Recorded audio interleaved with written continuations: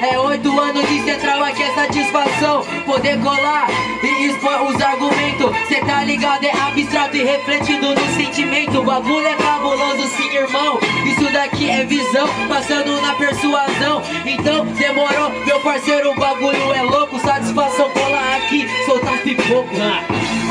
É a batalha de oito anos, há oito anos Você nem tinha pelos pubianos, era só sem esperança, vou chegando aqui Junto com meu V de vingança, persuasão Que é isso meu irmão, precisa de ideia na mente, na rima, motivação Então, oh, acabou meu pulmão Mas pode crer que a minha ideia tem muita concentração. Tem concentração, minha ideia é violenta Não tinha pelo pubiano, tinha é consciência. E aí rapaziada, quem veio pra ver a batalha central do mês de novembro Se aconchegue para cá, chega mais, chega mais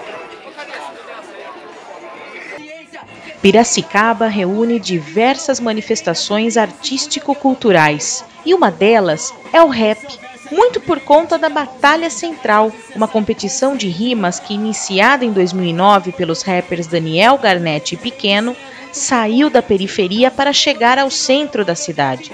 O documentário Da Quebrada ao Centro, Patrimônio Imaterial da Periferia, mostra a investigação dos participantes do projeto Educomunicação e Memória, que buscaram saber mais sobre esse estilo e sua importância enquanto um bem cultural imaterial, que, embora ainda não reconhecido como tal, possui grande importância para a disseminação da cultura no município e no mundo.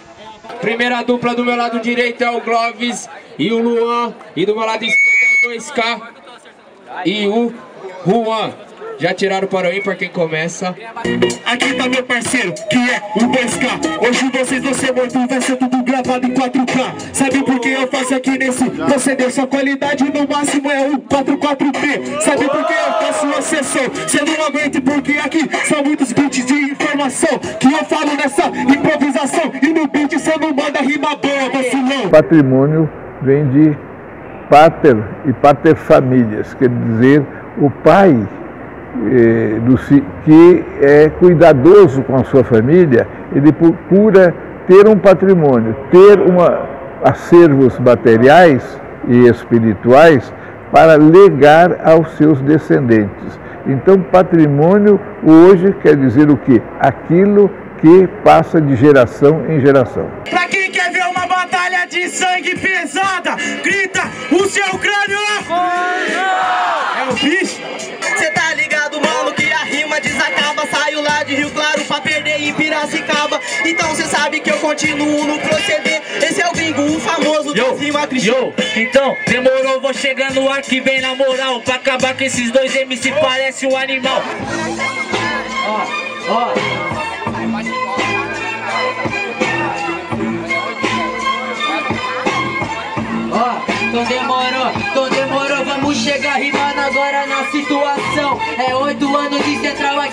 satisfação Poder colar e expor os argumentos, cê tá ligado? Acho que eu ia perguntar algo relacionado a isso também, porque eu sinto isso, essa insistência e você persistir e ver que só o tempo dirá e não nunca parar. Acho que vocês nunca pararam, né? Começou e isso continuou, continuou, nunca teve uma parada, né? Começamos a pensar no que a gente poderia fazer. Nessa a gente veio com a ideia da, da, da batalha.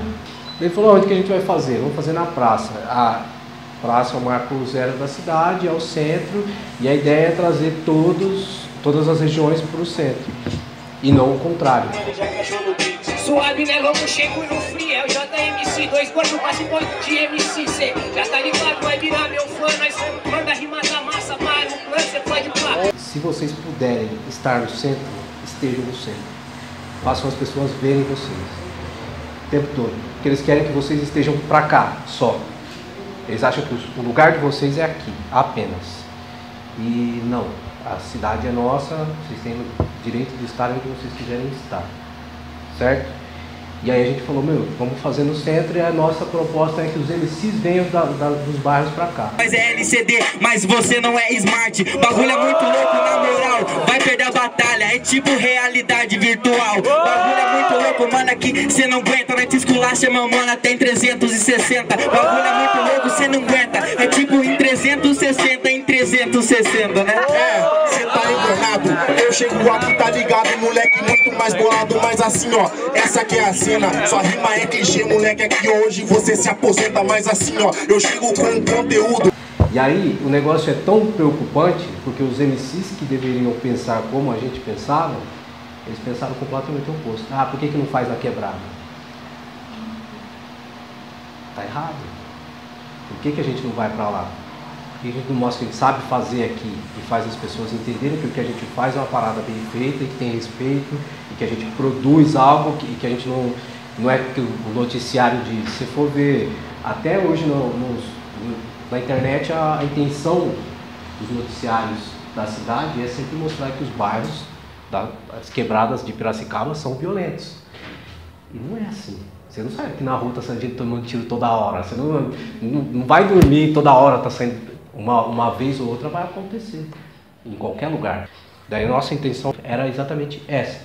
E tipo, mostrar para as pessoas, pô, a criatividade que se tem numa batalha, como a gente produz, como a gente realiza coisas, e que eles tirassem um pouco desse preconceito do, do movimento hip hop como um todo. Assim. Eu, querendo ou não, quando você fala de hip hop, você automaticamente se remete à periferia e aí as pessoas só querem pensar na, na, nisso que eu estou falando.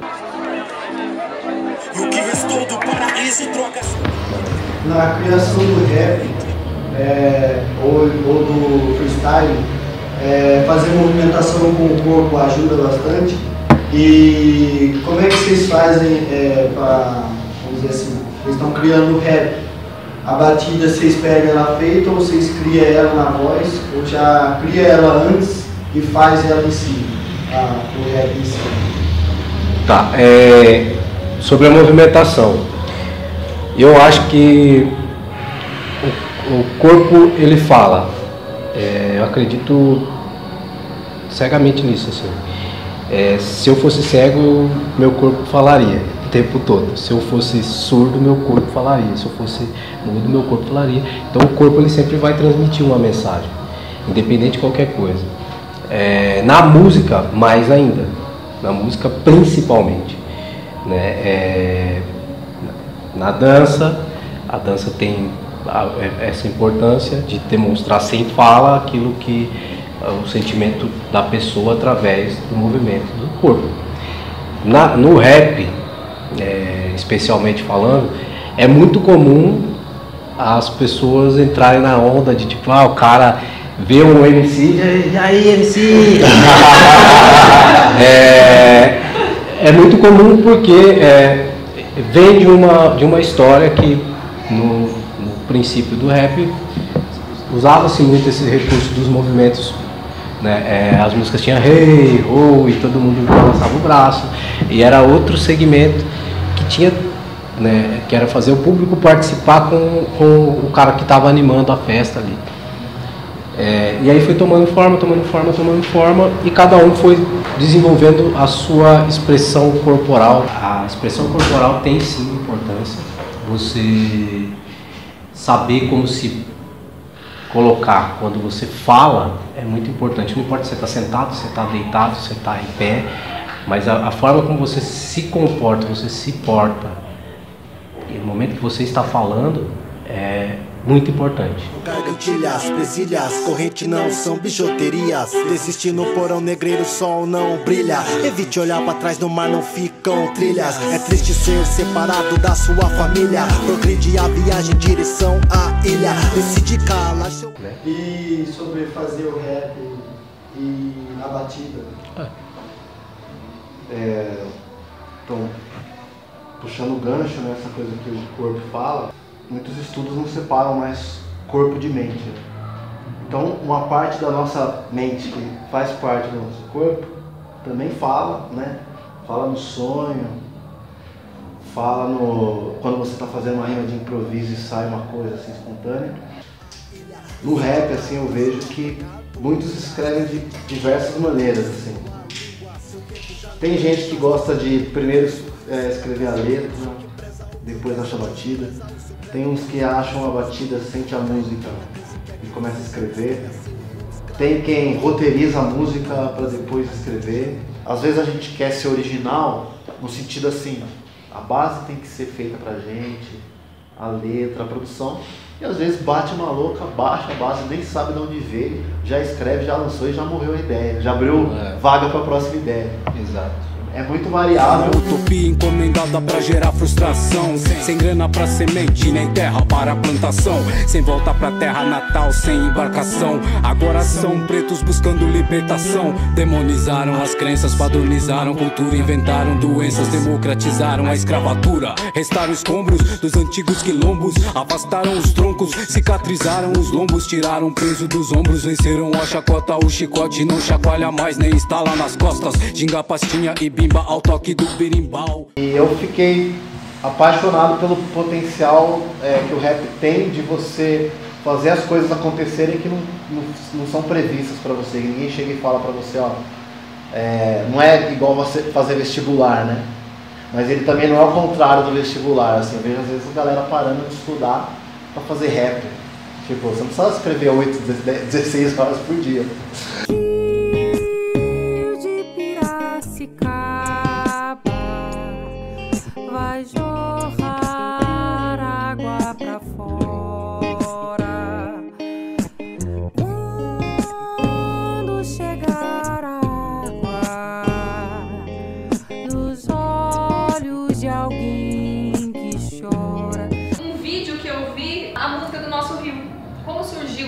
Proposta para vocês fazerem? Você que é daqui, né? Como que né, você se sente? Porque é uma música conhecidíssima é. no Brasil inteiro, né? Sim. Cláudio me ligou, né?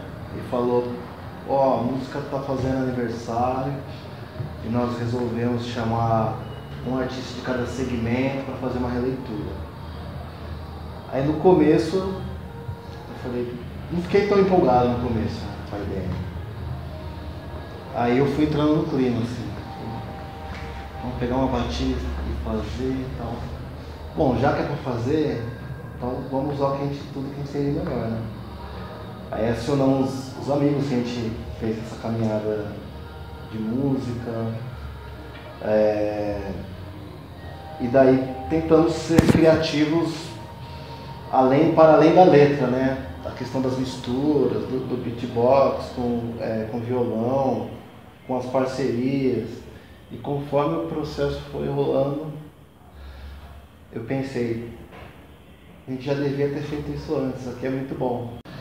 Então foi um convite assim é, inusitado, diferente, foi um desafio. Acho que no geral assim a, a, nossa criatividade tem muito a ver com coisas, com um olhar que, sei lá, que a gente acabou aprendendo a ver coisas é, fora do radar mesmo. O que tem mais espaço? O ódio, o rancor ou o que tá mais escasso? A água ou o amor? Economize no primeiro, esbanje no segundo. Como? Não sei, talvez tomando banho juntos, ecológico, direto ao ponto, mas sem insulto lógico. Ela me chamou de tonto, ficou sem assunto, cheia de amor, mas finge que não. Quem entende como fazer racionamento? Eu sempre gostei de cururus, por causa do meu pai. Eu gostava muito, né? É até pela memória afetiva. Meu pai ouvia muito e eu não tenho mais meu pai, então aquilo de uma certa forma trazia, é um, uma, me reconfortava de alguma forma. E quando ele falou da música, é, tanto que o verso que eu escrevi é todo voltado para essa saudade que eu tenho do meu pai. Daí eu fui lá, gravei a poesia mesmo e fiquei decorando a poesia. E depois eu consegui ritmar ela e colocar dentro do, da releitura da Rio de Lágrimas. E alguém chora no canto da cidade nesse instante. Meu canto consola alguém qualquer canto distante. Cada lágrima que rola faz outra nascente importante. Da saudade que deságua e transborda em um novo semblante. Outra parte se partiu, foi. Além do rio, foi sem tempo de se despedir. Saiu daqui, sorriu e sumiu. Das noites de chuva, sempre volta com a lembrança. E traz a revolta à minha porta em forma de esperança. Quando eu vi tomando forma, eu eu fiquei, eu, eu, confesso que eu fiquei mais, mais emocionado do que, com, do que no, quando eu tinha recebido o convite. Assim. E jorrarão rios de lágrimas desaguando no mar da saudade. Formarão nuvens de lástimas no coração de quem ama de verdade. E o som dos trovões farão um anúncio de uma nova tempestade. Alguns podem pensar que a cultura deve ser elitista, só para um grupo. E a Constituição foi muito clara. Ela afirma que todos têm direitos culturais e todos têm direito de acesso à cultura. A cidade sempre teve bastante representante que falasse sobre a realidade né? daquele momento, daquele tempo. É...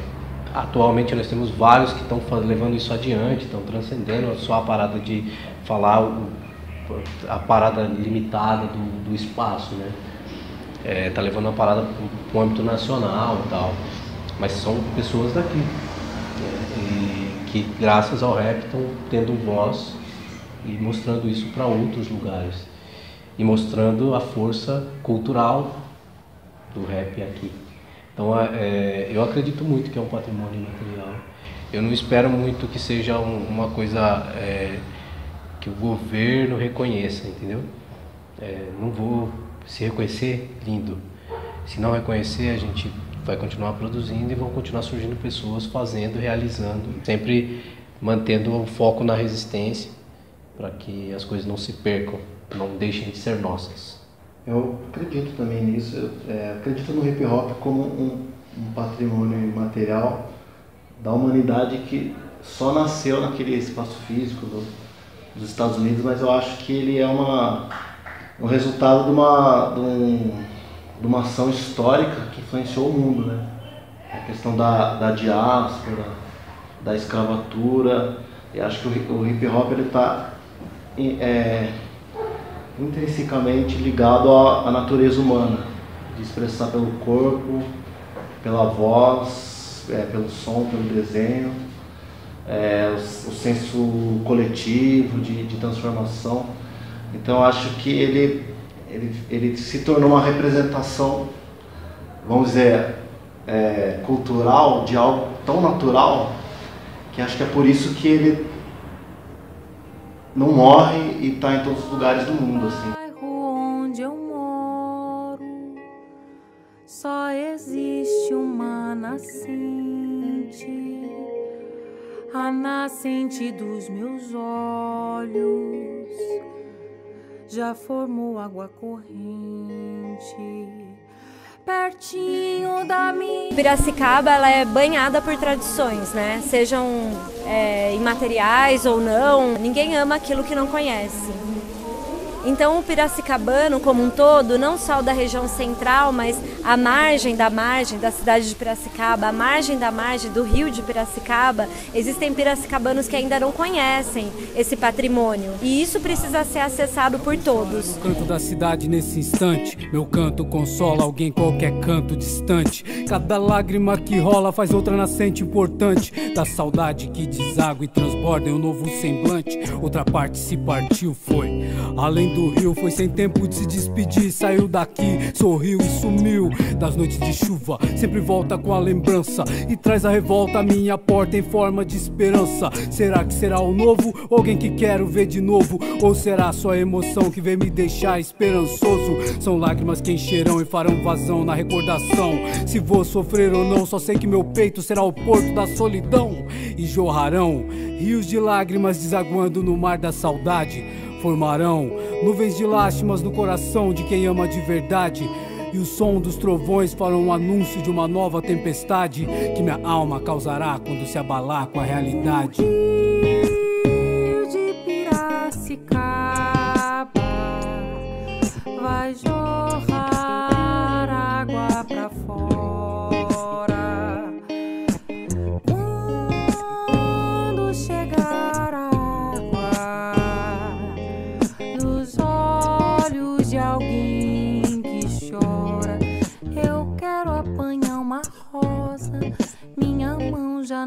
alcança. Eu choro desesperado, igualzinho uma criança. Duvido alguém que não chore pela dor de uma saudade. Quero ver quem que não chora. Quando amar de verdade. E como foi esse encontro de vocês? Como que foi isso? Então, eu tava um dia no, no Tinder, tô brincando.